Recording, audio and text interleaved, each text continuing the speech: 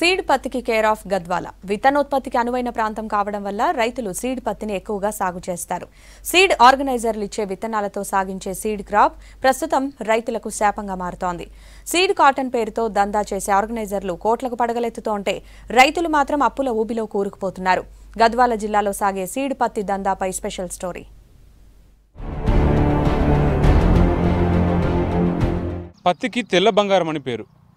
వరికి పోటీగా మరేదైనా పంట ఉందంటే అది పత్తి మాత్రమే. పాలమూరు జిల్లాలో వర్షాధార పంటగా ఎక్కువగా పత్తి పంటనే సాగు చేస్తారు. సీడ్ హబ్గా ఉన్నటువంటి పాలమూరు జిల్లాలో పత్తి రైతుల గుండెకోత సీడ్ ఆర్గనైజర్ల మోసాలపై వి సిక్స్ గ్రౌండ్ రిపోర్ట్. పత్తి విత్తనోత్పత్తికి కేంద్రంగా ఉన్న గద్వాలలో ఇప్పుడు రైతులు తీవ్ర ఇబ్బందులు పడుతున్నారు. జోగులాంబ గద్వాల జిల్లాలో ఏటా సుమారు ముప్పై వేల ఎకరాల్లో విత్తన పత్తి సాగు చేస్తారు. దేశంలో ఎక్కువగా ఈ ప్రాంతంలోనే విత్తన పత్తి పండిస్తారు. ప్రస్తుతం రైతులు కంపెనీల చేతుల్లో మోసానికి గురవుతున్నారు. కంపెనీలు రాతపూర్వకంగా నేరుగా రైతులతో ఒప్పందం చేసుకోకుండా మధ్యవర్తులతో మౌఖిక ఒప్పందాలు చేసుకుని విత్తన పంట సాగు చేయిస్తున్నారు. ఈ వ్యవహారాన్ని పర్యవేక్షించాల్సిన వ్యవసాయ శాఖ అధికారుల నిర్లక్ష్యంతో చివరికి రైతులు నష్టపోతున్నారు. ఫెయిల్ అయిందంటే కూడా కంపెనీ ఉంటుంది ఆర్గనైజర్ తరపున ఒక వ్యక్తి ఉంటాడు. ఆ వ్యక్తి ఇద్దరి మధ్యలోనే నడుస్తుంటుంది. అట్లాంటప్పుడు ఫెయిల్ ఎట్లయితుంది? ఆ ఫెయిల్ అయ్యే రైతు కూడా ఎవరు అనేది వాళ్ళకి తెలుసు. కంపెనీ కానీ ఆర్గనైజర్ మధ్యన జరిగే దోపిడీ రైతు అయితే ఎట్టి పర్సెంట్లో ఏ మోసం చేయడు. హండ్రెడ్ పర్సెంట్ ఫెయిల్ కావు. అది ఏదైనా వాళ్ళ ఒప్పందం ద్వారా ఏదైనా కమ్మర్సీడీ అది రైతుని ఏదో బాకి పట్టుకోవాలని పంపించినప్పుడు మాత్రమే ఫెయిల్ అవుతాయి తప్ప స్వచ్ఛందంగా చేసిన రైతు ఎప్పటికి ఫెయిల్ కావు. సిడిపతిలో ఏం ఆదాయం లేదు సార్. వాళ్ళు లక్ష ఇస్తారు సార్. కూలి వాళ్ళకి పదహైదు వేలు నెలకు. ఫర్టిలైజరు పదహైదు వందలు. లిక్విడ్ పెరిగింది. ఏం మిలగట్లేదు సార్. అన్నీ కష్టపడి ఫ్లాట్లు పెళ్ళాము ఆలి పుస్తను ఏదో అమ్ముకుంటే అదంతా అమ్ముకుంటే తర్వాతకి ఏముంది? అంత కష్టపడి పండించినాక ఫెయిల్ అయింది అది అంటున్నారు. ఫెయిల్ కాకుండా అయింది అంటున్నారు. రైతులు మోసం చేస్తున్నారు. ఏం లేదు. సిడిపత్తి దండగా గతి లేక కూటి కోసం డబ్బులు పుట్టక బయట వాళ్ళ దగ్గర పెడుతున్నాం. కానీ వాళ్ళు ఇటువంటివి చేస్తున్నారు.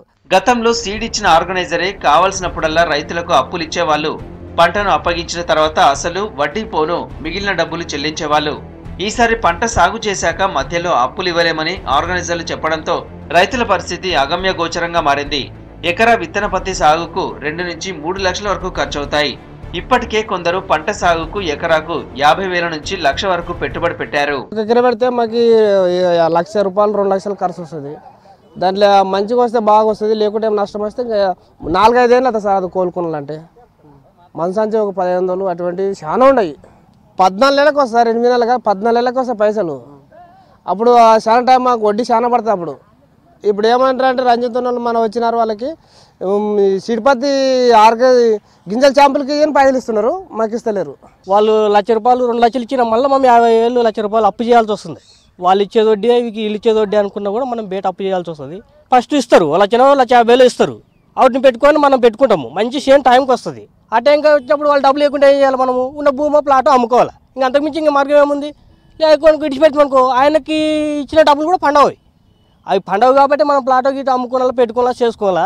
లాస్ట్కి చేసి ఆయనకి ఆ ఆడికి బాక్యపడిన పడిన పడతాము లేకుంటే తెగనిపోతుంది. మన గద్వాల జిల్లాలో ఎన్ని పిండవు అంటే ఫెయిల్ అయినవి దాదాపు చాలా మంది రైతులు ఉండరు కానీ బయటకు వచ్చి మాట్లాడలేరు. మాట్లాడితే ఏమైతే అంటే వాళ్ళు మాట్లాడిన వెంటనే ఎవరినో ఎవరిని పెట్టుతారు రొడ్డినో గిడ్నో పెడతారు వాళ్ళ ఇంట్లో నుండి ఎవరినో ఎవరిని బెదిరిస్తారు.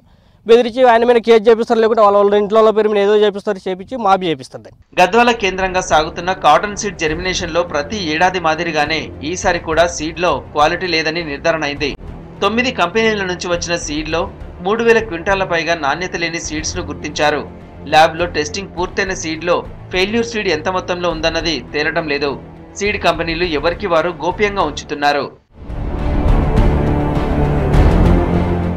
విత్తనోత్పత్తికి సీడ్ ప్రాసెసింగ్కి అనువైన ప్రాంతమైన గద్దోలలో పత్తి రైతులది దీనగాథ సీడ్ ఆర్గనైజర్ల చేతిలో పత్తి రైతులు చిత్తైపోతున్నారు.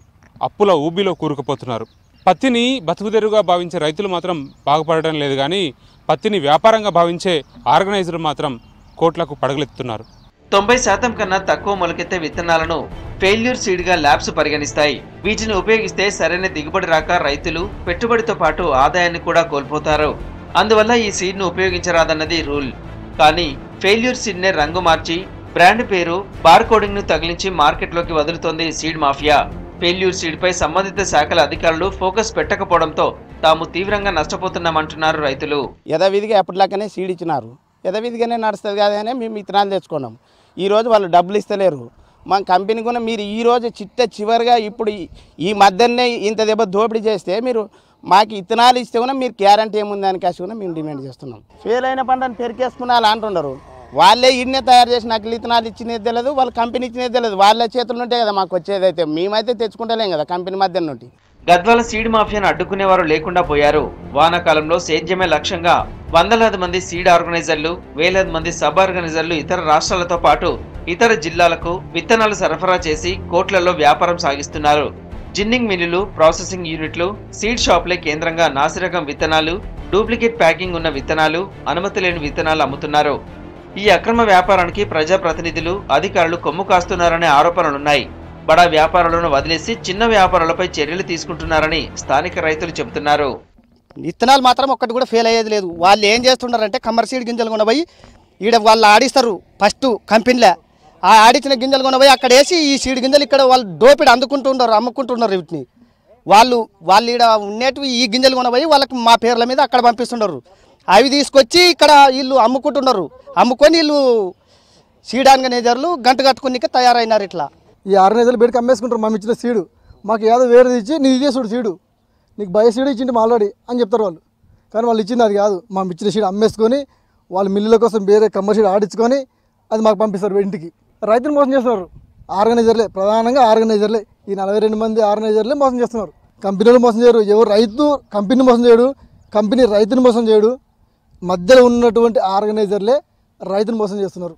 ఉమ్మడి పాలమూరు జిల్లాలో పదమూడు లక్షల ఎకరాల్లో పంటలు సాగవుతాయి. జోగులాంబ గద్వాల జిల్లాలో మూడున్నర లక్షల ఎకరాల్లో పంటలు సాగవుతాయి.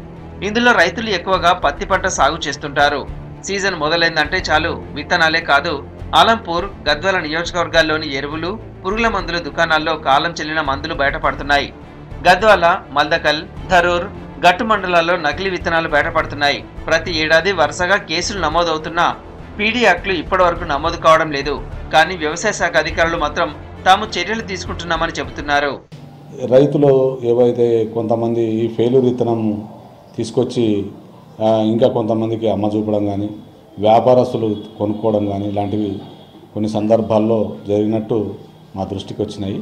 సో అందులో భాగంగానే పోయిన సంవత్సరము అరవై నాలుగు కేసులు నూట డెబ్బై క్వింటాల విత్తనం కూడా రికవరీ చేయడం జరిగింది.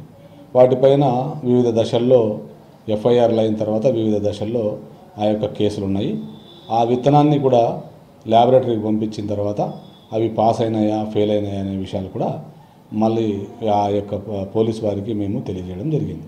పంటను సాగు చేసే రైతు ఎప్పుడు కూడా తన పంట నాశనం చేసుకోవాలని అనుకోడు. కానీ దిగుబడి వచ్చే పరిస్థితి లేదని తెలిసి కొందరు రైతులు మొక్కలు పీకేస్తున్నారు. ఇప్పటివరకు పెట్టిన పెట్టుబడి పోయినా పర్వాలేదనుకుంటున్నారు రైతులు ఇన్ని ఇబ్బందులు పడుతున్నా నకిలీ విత్తనాలు సప్లై చేస్తున్న వారిపై పూర్తి స్థాయిలో చర్యలు కనిపించడం లేదు. పత్తి విత్తన మాఫియా రైతులనే బెదిరించిన సందర్భాలు కూడా ఉన్నాయి. అందుకే ఆర్గనైజర్ వ్యవస్థ లేకుండా కంపెనీలే నేరుగా ఒప్పందం చేసుకుని రూల్స్ ఫాలో అయ్యేలా చూడాలని అప్పుడే తమకు న్యాయం జరుగుతుందని రైతులు చెబుతున్నారు. గద్వాల ప్రాంతంలో సీడ్ మాఫియా దందా మూడు పువ్వులు ఆరు కాయలు అన్న చందంగా సాగుతోంది. ఇందుకు నిదర్శనం రాష్ట్రంలో ఎక్కడ నకిలీ విత్తనాల గుట్టరటైనా ఆ మూలాలు మాత్రం గద్వాల జిల్లాలోనే కనిపిస్తాయి.